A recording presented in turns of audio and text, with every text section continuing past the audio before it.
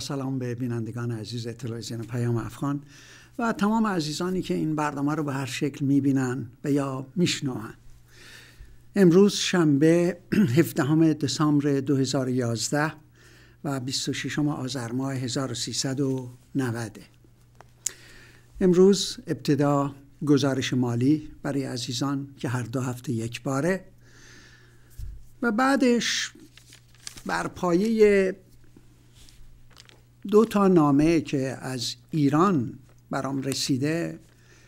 می‌خواستم بحثی رو آغاز بکنم و من بخشی از نامه این عزیز رو این عزیزان رو در واقع می‌خونم و بعد بحث رو به دنبال اون راجب اوضاع اروپا راجب اوضاع امریکا و در برابر همه اینها آنچه که در امریکای لاتین میگذره. برای اینکه موضوع واقعا صحبت های شنبه در اساس جهان به کدام سو می رود و موضوع بحث های سه شنبه رفتن به ریشه هاست که در اساس اینا به هم ارتباط داره.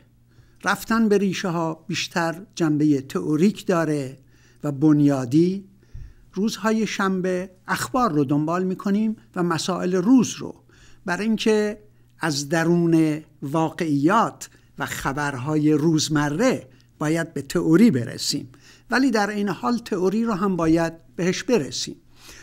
یعنی در حقیقت هم راجع به مسائل تئوریک باید صحبت بشه یعنی رفتن به ریشه ها و همین که این تئوری ها روز به روز هفته به هفته ماه به ماه و سال به سال باید محک بخوره. وگرنه ما نمی‌تونیم خودمون رو به تئوری در حقیقت قانع بکنیم یا به اصطلاح اکتفا بکنیم. بنابراین من ابتدای گزارش مالی میدم و بعد میریم روی بحث اصلیم از امیدوارم که عزیزان باشن که از پلزنتون در کالیفرنیا 120 دلار از سانتا انا در کالیفرنیا 350 دلار از فرزنو در کالیفرنیا 200 دلار از سایپرس در کالیفرنیا. هر شود که 100 دلار. عزیزان کالیفرنیا خیلی به اصطلاح لطف کردن و از وست سپرینگفیلد مساچوست 200 دلار. از تورنتوی کانادا دو تا 200 دلار در مجموع 400 دلار. از بیکرزفیلد توسط PayPal در کالیفرنیا توسط PayPal 50 دلار و از اوکلاهوما سیتی در اوکلاهوما 125 دلار. میریم روی بحث امروز. من می‌خوام یک بخش از نامه مفصلی رو که عزیزی از ایران فرستادن برای عزیزان می‌خونم. امیدوارم فرصت بشه که من این نامه ها رو که از ایران میاد بخونم. متاسفانه فرصت نیست. وگرنه بسیار آموزندن و امید من و در واقع هر شود که انتظار من از عزیزان ایران اینه که از اوضاع ایران برامون بمیسند که من از این طریق به گوش هم هموطنانی که در خارج هستن برسه و هم هموطنان در ایران. بسیار پر اهمیته که عزیزان اوضاع رو در ایران برای ما روشن بکنن ما که در خارج. این عزیز میگه برای اینکه بهتر موضع گیری فعلی گردانندگان کاخ سفید را بشناسیم یعنی تهدیداتشون رو علیه ایران که به اصطلاح حالا راجع کل جهان الان سوریه رو دارن محاصرش می‌کنن. هر شود که از اردن از لبنان از ترکیه و دائم عزیزان به صحبت های دنیس راس در به اصطلاح بنیاد وینپ که به اصطلاح یکی از ارتجاعی ترین دست راستی ترین و از چیز صهیونیستیه که حالا رفته بیرون از کاخ سفید یا داره میره بیرون. ببینید چه نطقی کرده به چطور ایران رو تهدید کرده. برای اینکه ببینیم چی میگذره اوضاع سیاسی اجتماعی و اقتصادی آنان چگونه است؟ باید دید در امریکا و در جهان غرب چه میگذرد؟ اگه ما بخوایم ریشه این قضایی رو پیدا بکنیم ریشهش تو ایران نیست. تو اروپا و امریکاست اوضاع سیاسی اجتماعی اونها چگونه است و آیا این نکته مهمه و آیا پیروزی مردم و حاکمیت ملی و مستقل ایران به نفع آنهاست؟ و یا وجود دولتی ضعیف ناکارآمد و عقب افتاده به نفع آنهاست. ما داریم می‌بینیم که چه حکومت هایی رو سرسپرده و نوکر کامل و بدون چون چرا از اردن، عربستان، کویت، امارات متحده عربی، عمان، مراکش تمام این کشورها که در حقیقت همین چیزای خلیج رو درست کردن به اصلاح اتحادیه خلیج رو درست سرسپرده های کامل که در خدمتشونن و خطر اینها واقعا به یک شکل از اسرائیل هم بیشتره. بنابراین اینا تحمل می‌کنن که یک کسی نافرمانی بکنه و یا اطاعت و سرسپردی کامل و مطلق و بدون چون و چرای اینها رو نپذیره نمی‌تونن تحمل بکنن. و یا چرا؟ در شرایطی که مردم مردم ایران اقدام به تغییر وضع موجود نموده دست به مبارزه زده و روشنفکران جامعه و اقلا و نیروی کارآمد و دموکرات و معتدل رژیم رو داره راجع به اصلاح طلبها صحبت با خود همراه کردن و رژیم دچار ریجس شده شکاف عمیق در آن ایجاد شده و در حال از هم فرو پاشیدن است. امریکا و متحدینش در چنین شرایطی که یک چنین مبارزه عظیم و یک جنبش عظیم به این عظمت چیز شد. حالا امریکا و متحدینش با ایجاد فضای جنگی دادن خوراک تبلیغاتی هر روز به نوعی گاهی ماجرای ترور سفیر عربستان و ماجرای تحریم های نفتی و بانک مرکزی و یا جریان دروغین و بازی فریبکارانه هواپیمای جاسوسی که اصلا معلوم نیست داستانش چیه و بدون سرنشین سعی می‌کنن در تحت و شعا قرار دادن رویدادهای واقعی واقعی درون کشور که مردم به طور روزمره واقعا مشغول مقاومتن مشغول نفی این رژیمن مشغول شکاف انداختن و بالایی ها دائم در حال ریزشن و انحراف افکار عمومی و تنفس دادن به رژیم. تمام اینها فضای تنفسی برای رژیم به وجود میاره. تمام اینها به نفع رژیمه. تمام اینها به ضرر جنبشه. بعضی از افراد ستون پنجم امپریالیزم که در سایت ایران امروز دارن مقاله میمیسن که آره باید تحریم ها نه تنها ادامه پیدا بکنه تشدید باید بشه. عزیزان برن و ببینن. آقای کازم علمداری اینا دشمنان ملتمان و چهره اینها رو باید مردم ما بشناسن که اینا در خدمت امپریالیسم و اینا دارن با این تحریم ها مقدمه در واقع. این تحریم ها هرچه شدید بشه برای از پادر آوردن رژیم نیست برای از پادر آوردن مردمه. و در نتیجه مقدمه است برای حمله بعدی.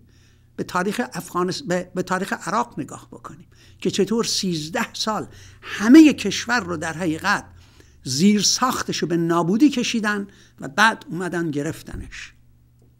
اینها همون سیاستی که در عراق پیاده کردن و ما ستون پنجم امپریالیز رو از این طریقه که باید بشناسیم بنابراین و و تنفس دادن به رژیم را علا رقم مشکلی که با آن دارد در واقع چنین وطن فروشایی در خدمت فقط امپریالیست نیستن در خدمت رژیم هم.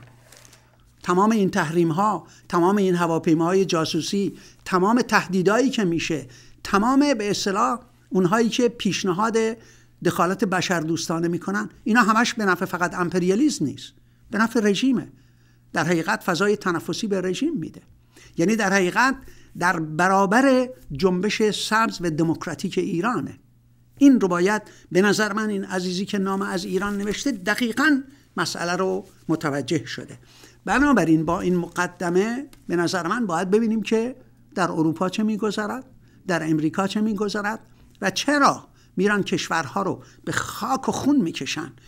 عزیزان باید اخبار لیبی رو دنبال بکنن و ببینن چی در اونجا میگذره و چه جانوران وحشی به قدرت رسیدن و چه کشتارهایی هنوز ادامه داره. نه تنها از مردم در بین خود این گروه های وحشی و گرازمانند واقعا.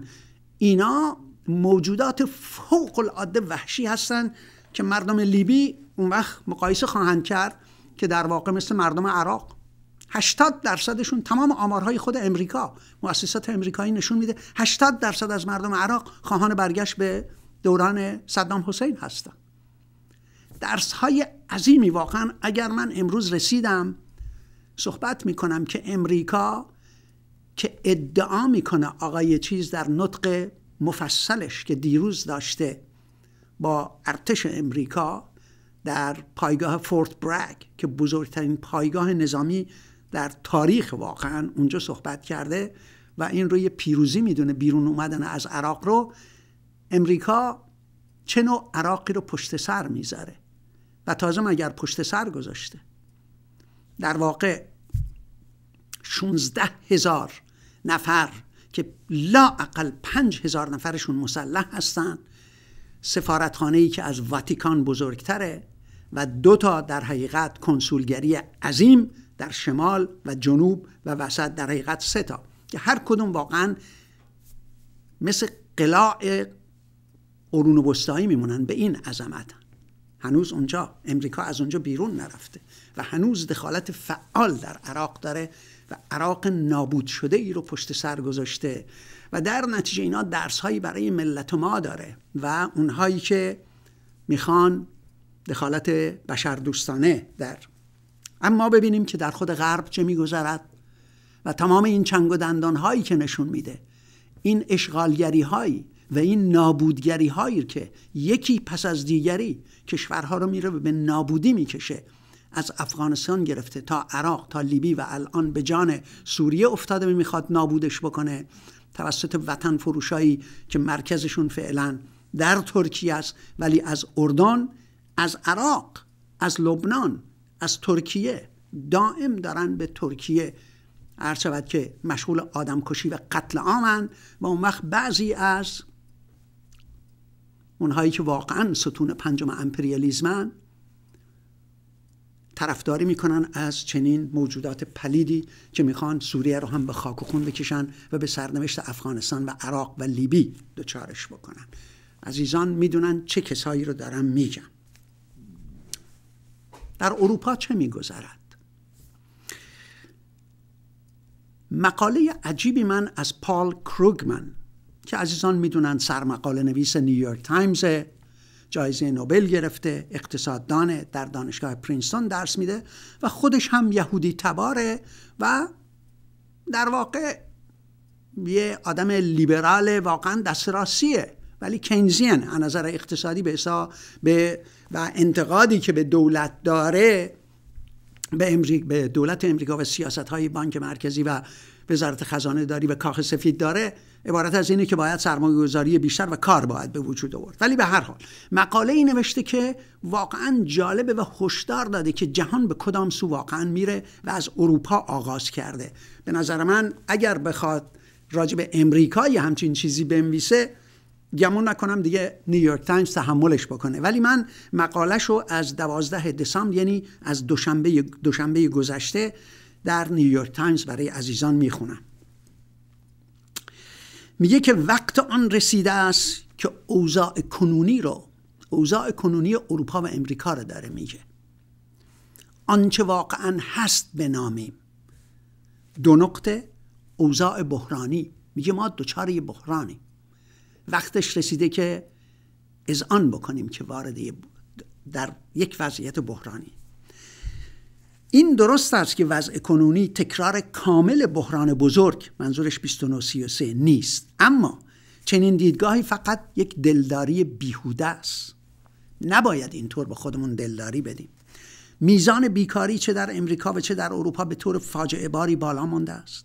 هم رهبران حالا نه تنها هم رهبران این کشورها و هم نهادهای حکومتی آنها مشروعیت خودشون را از دست دادن. عزیزان به آمارها نگاه بکنن. فقط 9 درصد از مردم امریکا به کنگره اعتقاد دارن. 91 درصدشون مخالف این کنگرن و این کنگره ای که قرار نمایندگان مردم باشه. اگه بخوایم دموکراسی امریکا رو درک بکنیم کاش آقای هر شود که الکسیس دو توکویل یا حتی مارکس زنده بودن و این همه بهبه و چهچه می‌کنن راجع به دموکراسی امریکا. باید ببینن که سرنوشت این دموکراسی که در قرن 19 واقعا داشتن به کجا رسیده؟ ارزش های دموکراتیک نیز سخت زیر ضربه.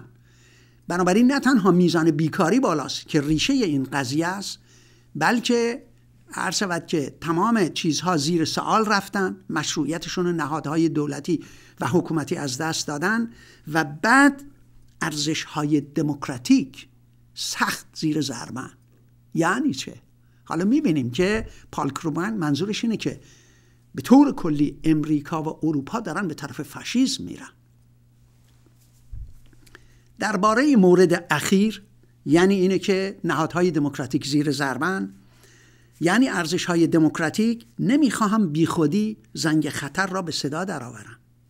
در مورد اوضاع سیاسی و اقتصادی هم نباید به این دام افتاد که بگوییم به بدی بحران بزرگ تمام اینها داره اوضاع اروپا رو در دهه سی و روی کار آمدن هیتلر داره میگه. و یا میزان بیکاری مانند سال 1933 نیست که 25 درصد بود. الان 22 23 درصده. نباید گرایش های خطرناک را به بهانه اینکه هیتلر حضور ندارد نادیده بگیریم. اینا رو پال کروگمن توی نیویورک تایمز مینویسه بگذارید ابتدا از اروپا صحبت کنیم. از امریکا صحبت نمی‌کنه. چون میترسه به نظر من. ولی در امریکا این گرایشات بسیار شدیدتر از اروپاست. نه از آن جهت که اوضاع امریکا بهتر است بلکه به این دلیل که وخامت تحولات سیاسی اروپا برای بسیاری معلوم نیست. حالا چیه؟ نخست آنکه بحران اورو رؤیای اروپا رو که یوروپین دریم بهش میگن مثل امریکن دریم یعنی رؤیای امریکایی. که من تو کتاب در حقیقت چه خواهد شد راجع به رؤیای امریکایی صحبت کردم. میگه رؤیای اروپایی هم داره از پا در میاد. پول مشترک یعنی اورو که قرار بود کشورهای اروپایی را به هم پیوند دهد برعکس موجب ایجاد فضایی پر از کینه و تلخکامی بیشتر میان آنها شده است. حالا عزیزان دقت بکنم. داره سخت به خانم مرکل حمله می‌کنه. که این سیاست امریکاست هم حمله به خانم مرکل. و حالا ببینیم خانم مرکل تو چه باقیه و به طور کلی آلمان. مخصوصا درخواست ریاضت کشی هرچه بیشتر بدون پیشبینی سیاست رشد اقتصادی. ضربت دو جانبه ای به اروپا می‌زند. این ضربت دو جانبه یعنی از نظر اقتصادی با شکست مواجه شده و موجب گسترش بیکاری می شود و از سوی دیگر اعتماد بازار. منظورشون از بازار یعنی سرمایه داره رو به دست نمی آورد توضیح کوچکی باید بدم. عزیزان می‌دونن که نه این جمعه یعنی دیروز بلکه در حقیقت هشت روز پیش جمعه گذشته در بروکسل کشورهای اروپایی و اونهایی که در حقیقت جزء اتحادیه اروپا هستند 27 یا 28 کشور گرد همایی داشتن و به یک سلسله نتیجه گیری ها ریستن و قراردادی را امضا کردن. که در حقیقت انگلیس به هیچ وجه می‌خواست وتو بکنه یعنی در حقیقت نپذیرفت که دلایلش خیلی آشکاره. بر اینکه جزئی از این قرارداد عبارت از این بود که تمام transaction یا مبادلاتی که میشه من توضیح کوچیکی راجع به این قضیه بدم. لندن واقعا بگیم از اواخر قرن 18 جایی بوده که تمام یعنی اکثریت معاملاتی که در سطح جهان صورت می‌گیره در اونجا باید تصویه بشه. اینو بهش میگن کلیرینگ هاوس معاملات همیشه پول در همون زمان به طور همزمان در مورد خرید یا فروش مبادله نمیشه. اینا موقعی که سررسیدش می‌رسه حالا اگر راجع به پول و اعتبارش رسیدیم که صحبت بکنیم موقعی که سررسید می‌رسه اینا باید تصفیه بشه. و در نتیجه اینو بهش میگن clearing یا تصفیه حساب باید بشه. لندن لااقل الان دو یا سه قرنه مرکز این تصفیه ها تصفیه حساب هاست. یا یک بزرگترین clearing house هستش. غیر از اینکه در واقع بزرگترین مرکز بیمه هستش و به طور کلی بزرگترین مرکز مبادله ارزها هم هستش و بازار طلا. امریکا گذاشتتش با آنکه بزرگترین مرکز مالی جهان وال استریت که از هزار و بگیم 915 یا از زمانی که بانک فدرال امریکا تشکیل شده اونجا مرکز اصلی به اصطلاح و تعیین قیمت های تمام کالاها چه در بازار نیویورک و چه در بازار شیکاگو در حقیقت کمادیتی ولی لندن هنوز عظمت خودش رو حالا آنچه که در بروکسل گذشت می‌خواستن نوعی مالیات روی این معاملات بذارن که بزرگترین مرکزش در لندنه. در نتیجه اگر مالیات بذارن هر کدوم از این تصویه حساب ها که میشه به عزیزان عرض بکنم که بانک های لندن و یا مراکز مالی لندن کمیسیون می‌گیرن. در نتیجه میلیاردها دلار درآمد دارن. از طریق همین تصویه حساب ها که این به جیب سرمایداران مالی و به اشرافیت مالی انگلیس میره. اینا می‌خواستن به اون مالیاتی ببندن. در نتیجه آقای کمران به هیچ وجه این قرارداد رو نپذیرفت و در اساس وتوش کرد. حالا وتو به اصطلاح تا الان حق وتو داره ولی قراردادی که اخیرا گذروندن لزومی نداره که حتما رأیگیری باید به آراء به اصطلاح مطلق باشه بلکه دو سوم یا نیمی نیمه به علاوه یک اگه باشه هر که می‌تونن قانون رو بگذرن. حالا بگذریم. ولی به هر حال آقای کمران چیز نشه و به اصطلاح کشورهای اروپایی سخت بهش حمله کردن و بعد 17 تا از این 27 یا 28 تا دور هم نشستن و قراردادی بستن. حالا این قرارداد چیه و چطور؟ نه انگلیس ازش راضیه و نه امریکا ازش راضیه و سخت مورد انتقاد ایناست. به این ترتیب هستش که می‌خوان به کشورهای اروپایی قراردادی رو تحمیل بکنند به ویژه به کشورهای جنوب اروپا. که در درجه اول هم یونان هستش هم ایتالیا هستش ولی اسپانیا و پرتغال ایرلند رو هم شامل میشه و بعدا یقه دیگر کشورها رو هم خواهد گرفت از این 17 کشور. که اینها تمام سیاست های اقتصادیشون باید زیر نظر کمیسیون اروپا باشه یوروپین کمیشن یا کمیسیون اروپا باید باشه. یعنی چه؟ خب حالا این کمیسیون اروپا زیر نظر کیه؟ زیر طبیعتا به اصطلاح زیر نظر قدرتمند در این کشور اروپا خواهد بود یعنی آلمان. یعنی در حقیقت آلمان تمام سیاست های اقتصادی کشورهای دیگه اروپایی رو زیر سیطره خودش می‌خواد بیاره. قابل توجه اونهایی که میگن امپریالیزم وجود ندارد و یا رابطه سلطه و تابعیت وجود ندارد. امپریالیسم فقط انگلیس نیست فقط امریکا نیست فقط فرانسه نیست. آلمان الان در اساس با این قراردادی رو که تحمیل کرد به دیگر کشورهای اروپایی می‌خواد همون سیاستی رو پیاده بکنه که هیتلر از طریق اشغال نظامی می‌خواست در حقیقت پیاده بکنه. یعنی سیطره کامل بر بقیه اروپا. این دفعه منتها با قدرت اقتصادی می‌خواد این کار رو بکنه. کشورهای دیگه اروپایی این رو خواهند پذیرفت؟ به هیچ وجه. نخواهند پذیرفت. به ویژه امریکا و انگلیس ناراضیان از این قرارداد. ولی به هر حال تضاد الان افتاده بین اینها بین خود کشورهای اروپایی که امکان نداره این بتونه پیاده بشه. بر اینکه لاقل هشت یا نه کشور از این کشورهایی که این قرارداد را حتی امضا کردن باید به تصویب مجالسشون و در واقع مردم به اصطلاح باید برسه که معلوم نیست قبول بکنن.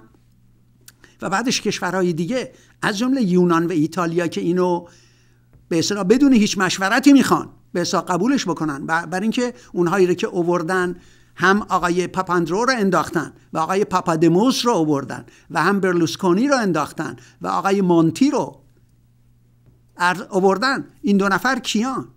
از بانکدارها و اینا.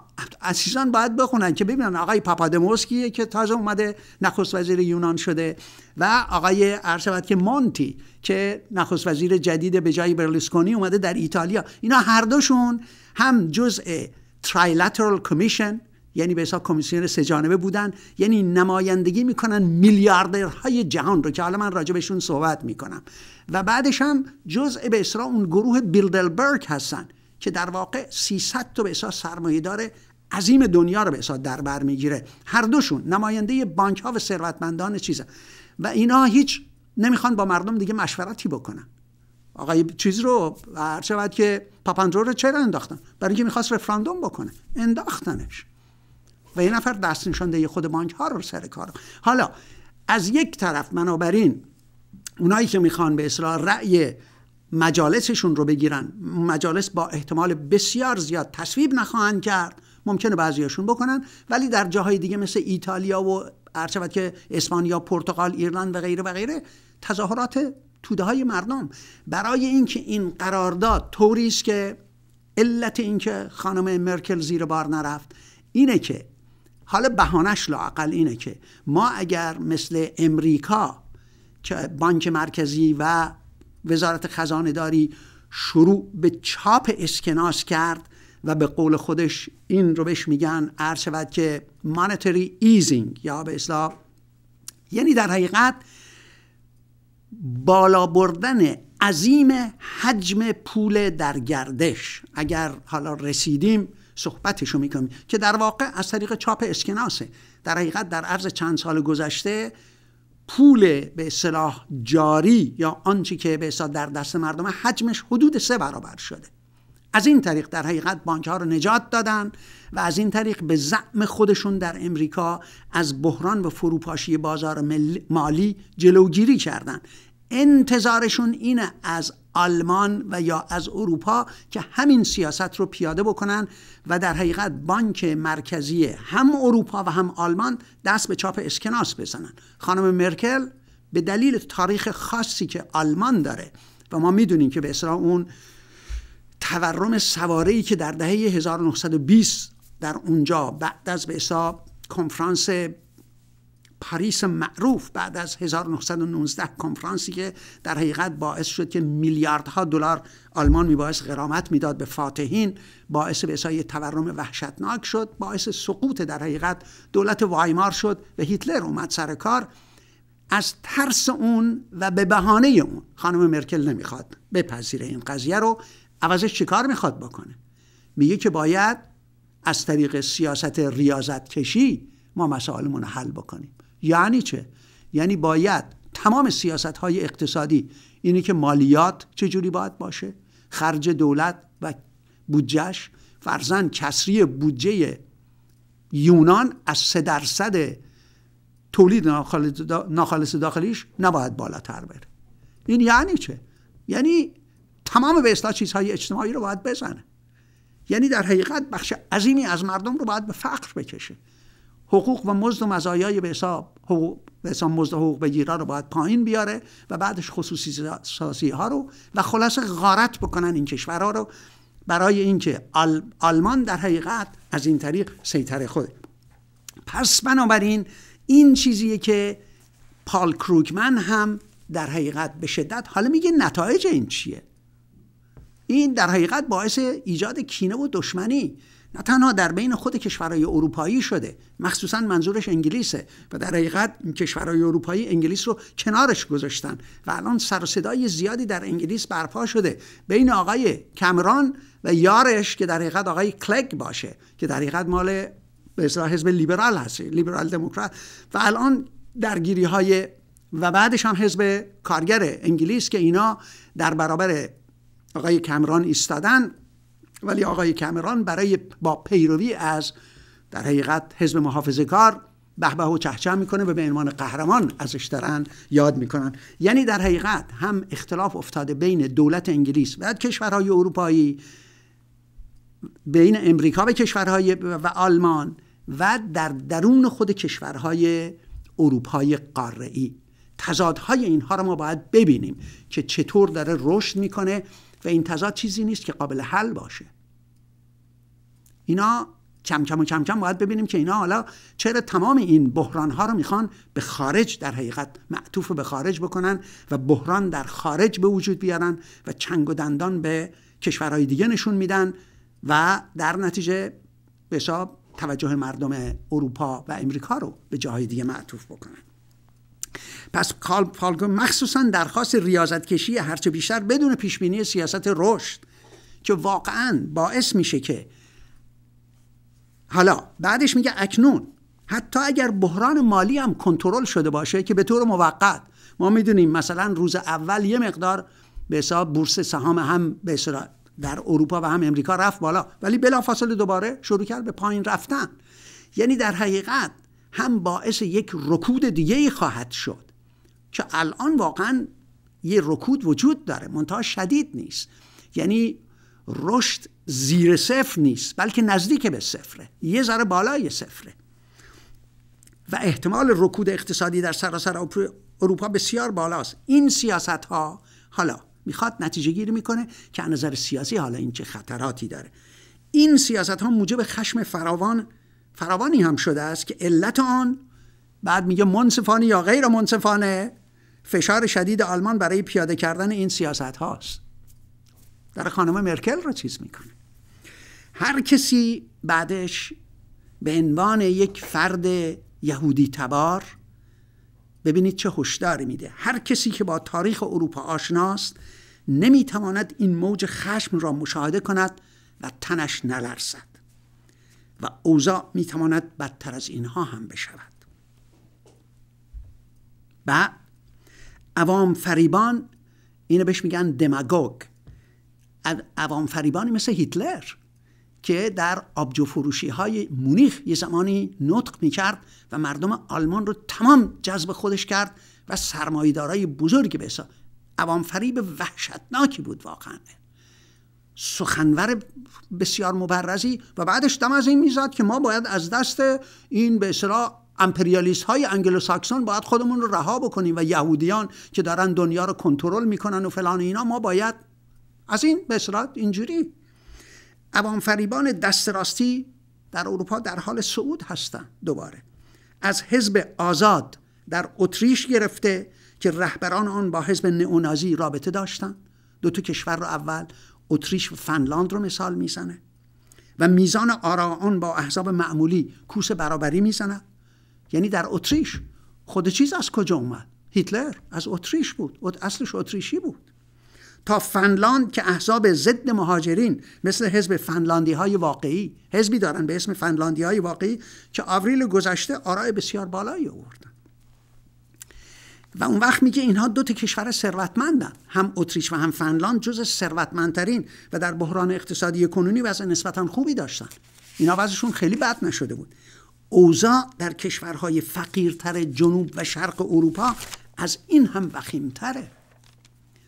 ماه گذشته بانک اروپایی توسعه و بازسازی OECD در حقیقت سندی منتشر کرد که در آن گفته می شود پشتیبانی عمومی از دموکراسی در کشورهای اتحادیه اروپای جدید. همون اروپای جدیدی که آقای دانالد رامسفلد ازش اسمی برد یعنی کشورهای اروپای شرقی که بعد از فروپاشی دیوار برلین در حقیقت اومدن و به غرب پیوستن. یعنی کشورهایی که بعد از فروپاشی دیوار برلین به اتحادیه پیوستن شدیداً کاهش یافته. از چی کاهش یافته؟ دفاع از دموکراسی. یعنی چه؟ یعنی به طرف فاشیسم دارن میرن. و سابقه داره در دهه 1930 و 40 تعجب آور نیست که در آن کشورهای اعتقاد به دموکراسی از همه ضعیفتر است که ضربات اقتصادی شدیدتری خوردن و لاقل در یک کشور بعد مثال مجارستان رو می‌زنه. یعنی مجارستان همکنون نهادهای دموکراتیک یکی پس از دیگری برچیده میشن کاملا به طرف فاشیسم داره میره مجارستان.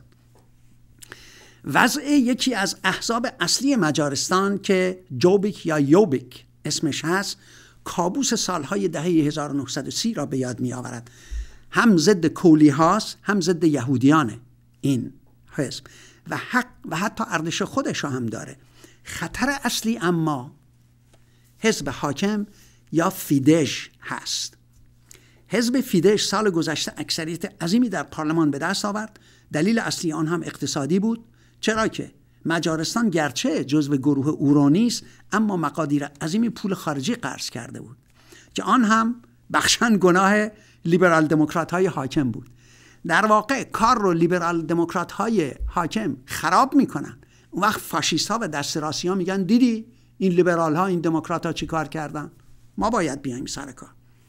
حال حزب فیدش که توانست بر پایه آراء بالای خود قانون اساسی آن کشور را هم عوض کند جایگاه حاکمه ثابتی پیدا کرده. یعنی دست ها محکم در مجارستان سر کار اومدن. و در نتیجه به طور مختصر من میگم که چیکار کردن؟ دستگاه قضایی استقلال خودش از دست داده. ما می‌دونیم که در زمان هیتلر این اتفاقات افتاد. دادگاه ها پر از قضات طرفدار حزب حاکمن. حالا خواهم گفت که در امریکا این اتفاق داره میفته. دستگاه های ارتباط جمعی بلندگوی دولت شدن. در امریکا داره این اتفاق میفته. دولت که نه در واقع کورپوریشن ها که همون دولت باشه. و دستگاه های ارتباط جمعی مستقل سرکوب می شوند و بعد طبق قانون جدید نیروهای چپ عملا جنایتکار شناخته می شوند که در امریکا در واقع همینایی که به اصطلاح چیز هستن چیز می‌کنن به عنوان تروریست شناخته خواهند شد. مطابق قوانینی که من راجع بهشون در هفته های پیش صحبت کردم. این وضعیت اروپاست به طور مختصر که ما باید دنبال بکنیم. ولی من میرم روی امریکا. عرض شود که امیدوارم که برسیم که ببینیم در امریکا چی میگذره. و من از مقاله بسیار بسیار پر اهمیتی که در آخرین شماره مانتلی ریویو اومده و واقعا پیشنهاد می‌کنم به عزیزان که مانتلی ریویو رو دنبال بکنن. به قلم ریچارد پیت. ریچارد پیت عرض شود که بنابراین این در مانتلی ریویو دسامبر 2011 هستش. استاد دانشگاه کلارک در ماساچوست. دو تا کتاب این انسان رو می‌خوام به عزیزان معرفی بکنم. خود من این کتاب ها رو نخوندم ولی خوبه که عزیزان لاعقل با به اسمشون آشنا باشن. امیدوارم که آدم که برسیم خود من از جمله اینها رو بخونیم. راسخ جان ممکنه اون کتاب ها رو نشون بدیم من فقط اسمشون رو برای عزیزان می‌خوام چیز بکنم که اگه بتونن. عرض که یکیش هست Geography of Power که در حقیقت زیرش هست زیر عنوانش The Making of Global Economic Policy. یعنی به اصطلاح سیاست های اقتصادی جهان چگونه ساخته میشن؟ تا یادم نرفته عزیزان یک کاغذ قلمی اگه داشته باشن برای اینکه الان من وارد یک سلسله به اصطلاح آمارها و ارقام راجع به اقتصاد امریکا می‌خوام بشم که اگه عزیزان می‌خوان کاغذ قلمی داشته باشن. بنابراین این یکی از کتاب های ریچارد پیت هستش که من این مقالش رو بخش وسیعش رو ترجمه کردم برای عزیزان. Geography of Power. دومی رو لطفا شود کتاب دوم ریچارد پیت. راسخ جان آها.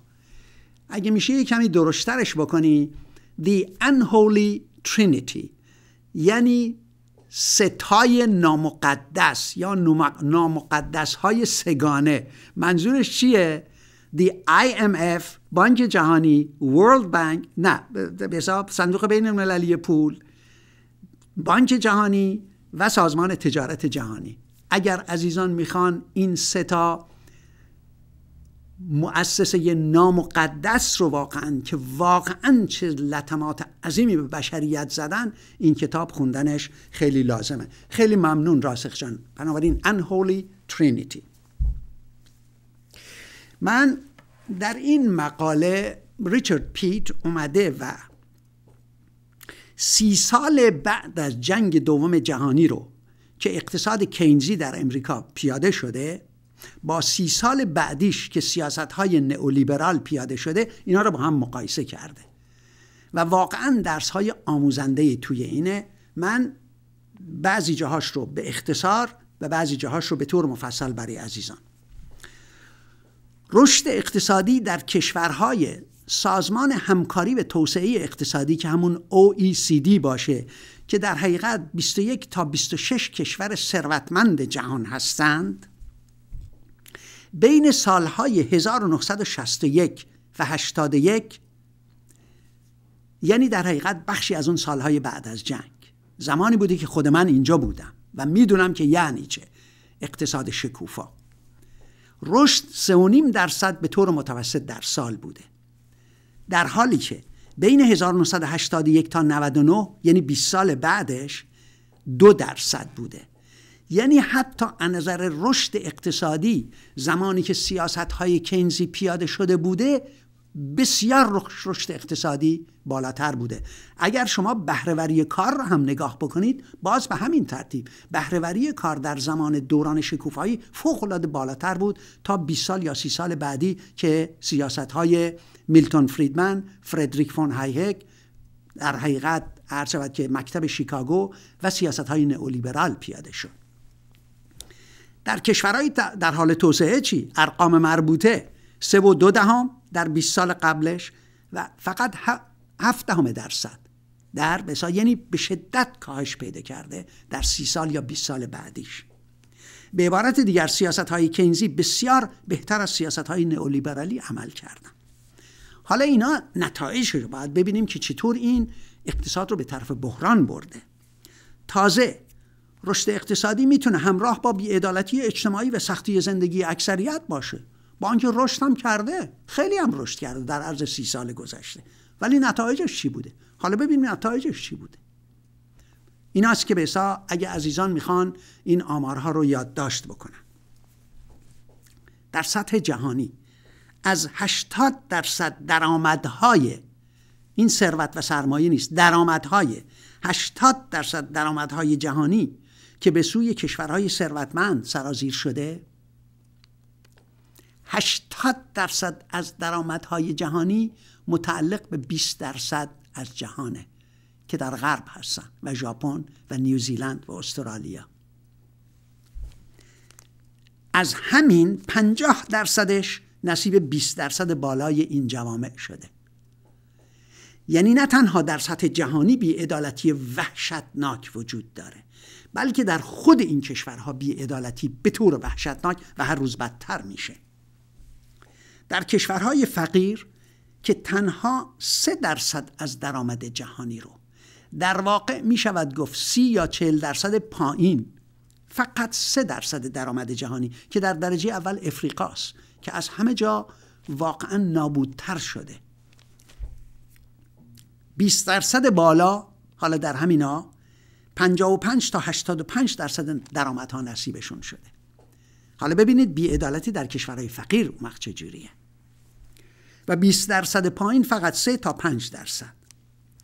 حالا آمار دیگه ای.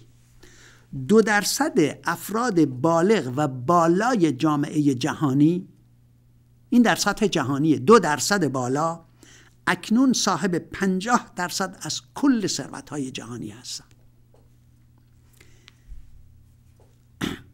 بنابراین اون وقت میگه که فقر از نابرابری سرچشمه می‌گیرد حالا ببینیم فقر چطور به وجود میاد.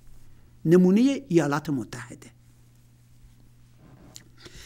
میان 1947 تا 73 یعنی اون سی سال در حقیقت بعد از جنگ همه گروه های درآمدی رشد واقعی از درآمد خود. رشد درآمد فقرا از همه بیشتر بود. حالا من امریکای لاتین رو اگر برسیم امروز برای عزیزان مثال می‌زنم در مقایسه با اروپا و امریکا که چطور در امریکای لاتین الان رشد درآمد بیشتر برای فقراست. و در نتیجه اینطور که در اروپا و امریکا طبقه متوسط داره از هم فرو میپاشه در امریکای لاتین برعکس داره طبقه متوسط رشد می‌کنه. در نتیجه اروپا و امریکا به طرف فاشیزم میرن امریکای لاتین به طرف دموکراسی داره میره.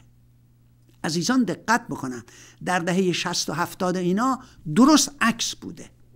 یعنی امریکا که یک طبقه متوسط عظیم داشته و همه بهش غبطه میخوردن. خود من اینجا شاهدش بودم. دموکراسی گسترش داشت. در حالی که امریکای لاتین که طبقه متوسطی واقعا نداشت فاشیزم برش حاکم بود. تمام به اصطلاح حکومت هایی بودن که در اثر کودتای امریکایی سر کار اومده بودن و کشتار و فاشیزم واقعا. یه عده قلیل در بالا ثروت ها در دستشون بود و بخش عظیمی از مردم در فقر بودن. حالا اگه رسیدیم آمارهای امریکای لاتین رو برای عزیزان خواهم خوند. اونم به حساب هوره کاستندا یکی از استادان برجسته به حساب دانشگاه نیویورک است برای عزیزان. عرض که رشد درآمد بعد از 1973 میانگین درآمد واقعی نه تنها رو به سکون گذاشت بلکه این نشانی بالا رفتن درآمد 20 درصد بالا بود. عرض شود که و سقوط فاحش درآمد 20 درصد پایین. قبلا من یه مقدار آمارهایی رو دادم. بدین ترتیب به عواست دهه 1990 که می‌رسیم بیش از نیمی از مردم مردم امریکا درآمدشون به پایین تر از سال 1973 می‌رسه. یعنی در حقیقت اوج این درآمدها 1973 بوده. بارها و بارها صحبت. اون زمانیه که فشار روی مزد مزایای کارگرا به فشار روی سندیکاهای کارگری امریکا آغاز میشه که در حقیقت در دوران ریگان و بعدش کلینتون و بعد جورج بوش اول و دوم و فلانی همشون به اصطلاح یک سیاست رو دنبال کردن برای نابود کردن سندیکاهای کارگری امریکا. که در حقیقت این بذری رو که کاشتن الان دارن نتایجش رو درو می‌کنن. از آن مهمتر شکاف عمیق در توزیع ثروت هاست تمام اینا راجع به درآمد ها بود. حالا ثروت ها به ویژه ثروت های مالی. عزیزان من تفاوت بین ثروت و سرمایه رو برای عزیزان گفتم. ثروت مثل خونه است مثل ماشینه مثل یخچاله مثل مبله. اینا درآمدی برای آدم نداره تازه خرجم داره. سرمایه پولیه که شما یا تو بانک می‌ذارید یا در وال استریت سرمایه گذاریش می‌کنید و درآمد داره. بهره به شما میرسونه. اون سرمایه است.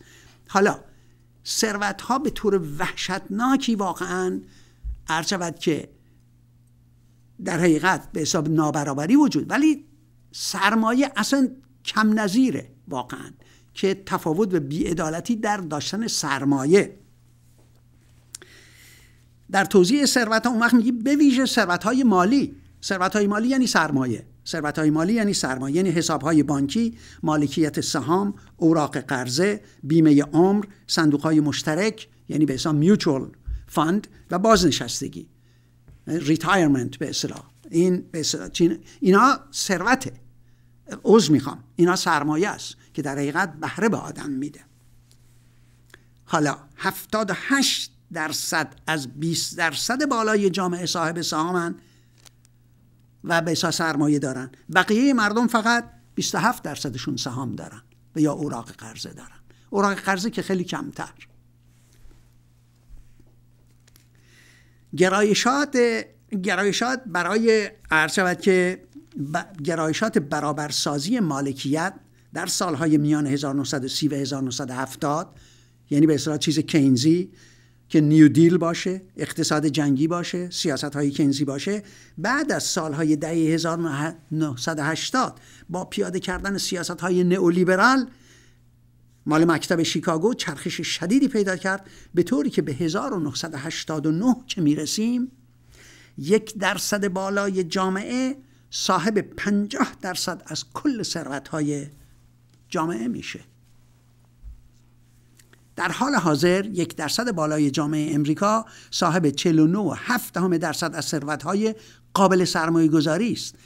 در حالی که 90 درصد پایین جامعه فقط 12 و دو دهم درصد برای سرمایه گذاری داره.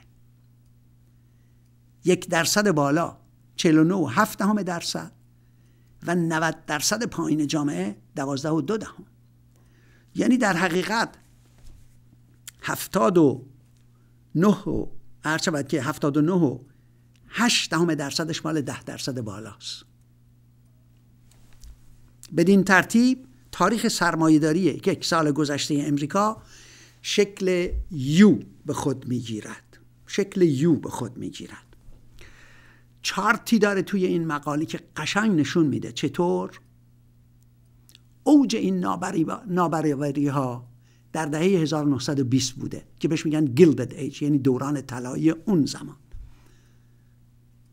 چطور نابرابری بوده هم در درآمدها و هم در ثروت تا اوجش در حقیقت باعث فروپاشی بورس سهام نیویورک میشه در اکتبر 1929 و بعد موقعی که سیاست های نیو دیل پیدا میشه تمام اینها رو به تعدیل میره یعنی در حقیقت شکاف طبقاتی فروکش می‌کنه تا دوباره از دهه 1980 شروع می‌کنه به بالا رفتن. یعنی یه شکل یو به خودش می‌گیره که 2007 به اوج خودش می‌رسه که بورس سهام دوباره از هم فرو میپاشه. ما باید بدونیم که چرا این حباب ها به وجود میاد و چرا اینها از هم فرو میپاشه و بیکاری وسیع و بحران نه تنها اقتصادی بلکه سیاسی به وجود میاد. بحران اجتماعی به وجود میاد. عزیزان اخبار رو بخونن که در امریکا چطور پدرانی که بیکار شدن مسلسل رو یا تفنگ رو بر میدارن تمام اعضای خانواده رو می‌کشن و بعد حتی بچه های شیرخار رو و بعد خودشون رو. همین امروز صبح من در دو جا در اوهایو و در جای دیگه در کالیفرنیا. پدر چون بیکار شده و هیچ چاره ای نداره همه خانواده رو می‌کشه. به جای اینکه دست به مبارزه بزنه. با نهایت تاسف بعد میگه که اگر یک درصد بالای جامعه امریکا رو نماینده سرمایهداری امریکا در نظر بگیریم میان 1917 که آغاز به اصلاح این آمارگیری ها بوده و اواخر دهه 1930 سرمایهداران طبق قوانین لیبرالیسم کلاسیک بین 15 تا 35 درصد درآمدها نصیبشون می‌شد و 1929 به اوج خودش رسید. بین 1945 تا 79 با پیاده شدن سیاست های کینزی این نسبت یعنی درآمدها به 10 درصد کاهش یافت. سپس با پیاده شدن سیاست های نئولیبرالی این دفعه از دهه 1980 این درصد دوباره به 15 به 25 درصد رسید که اوجش در 2007 بود. به عبارت دیگر سیاست های لیبرالی و نئولیبرالی چنان رشد اقتصادی به وجود میاد که منافع آن نصیب قشر نازک جامعه میشه و بعد اون وقت چی میشه؟ تاماس پیکتی و امانوئل سایس که اینا دو تا به اصطلاح چیزن که به اصطلاح شکاف طبقاتی رو سالهای سال دنبال می‌کنن.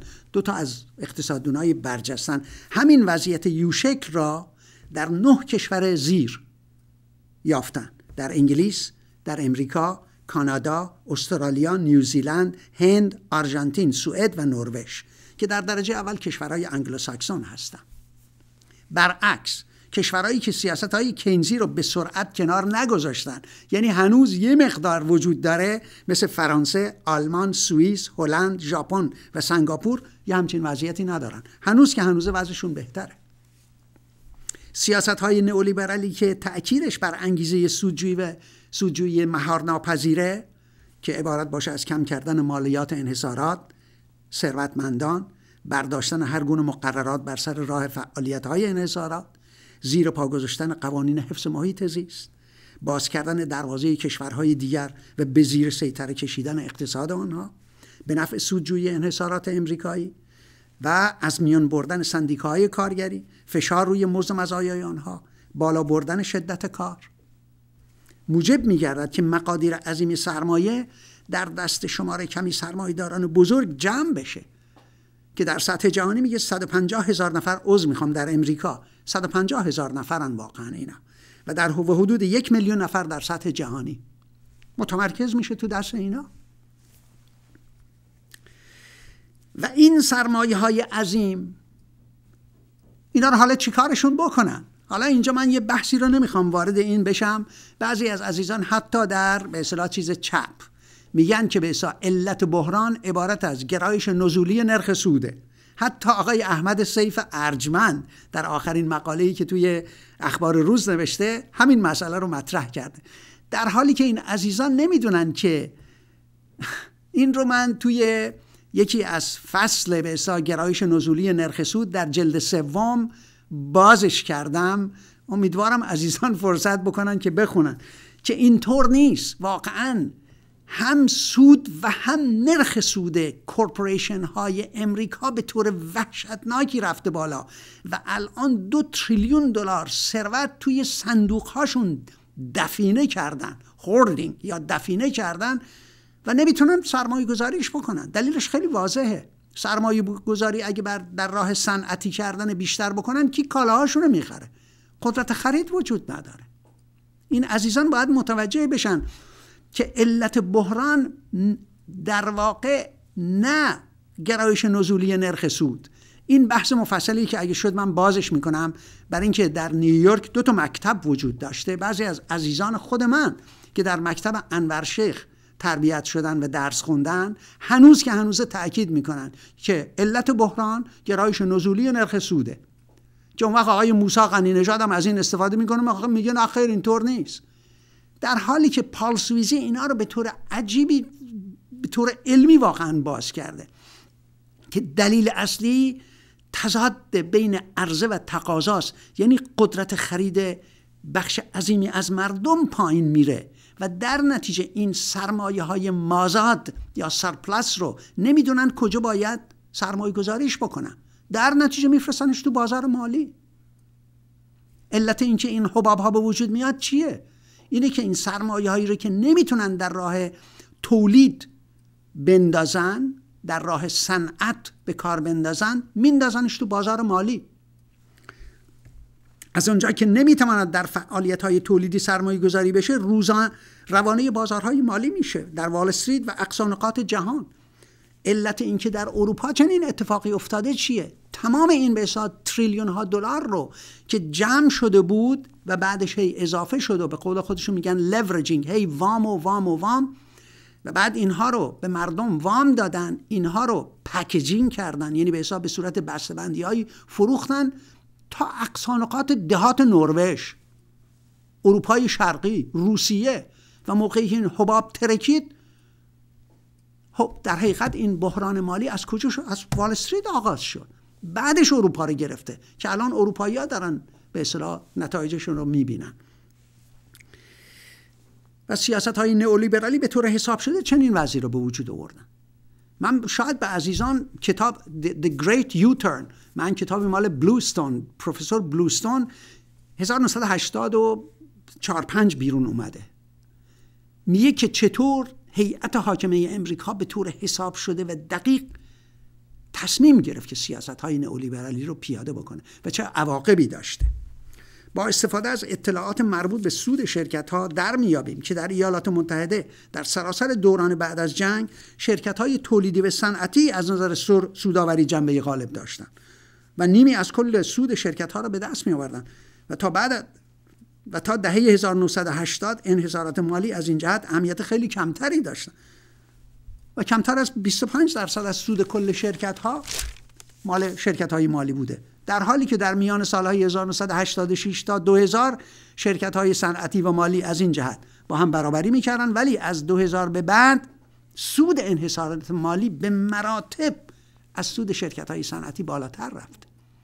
بیشتر به احساس سود به اصطلاح یعنی پول پول رو می‌سازه. پول نمیره. سرمایه گذاری بشه و به قول خودشون کارآفرینی بکنه. برعکس اتفاقا همینجوری کارگرا رو به طور جمعی اخراج می‌کنن.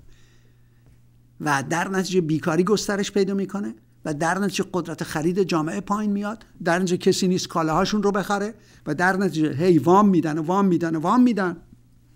و اینا بالاخره این وام ها قابل پرداخت باز پرداخت نیست. میترکه. حالا این یک طرفه در سوی دیگر طیف اجتماعی در سال 2010 شمار مزد و حقوق بگیران حالا عزیزان ببینن چی کالاهای اینها رو باید بخره؟ مزد و حقوق بگیران. در سال 2010 شمار مزد و حقوق بگیران که عضو سندیکا بودن 14 و 7 میلیون یعنی 11 و 9 درصد از نیروی کار بود و این ارقام در 1983 به ترتیب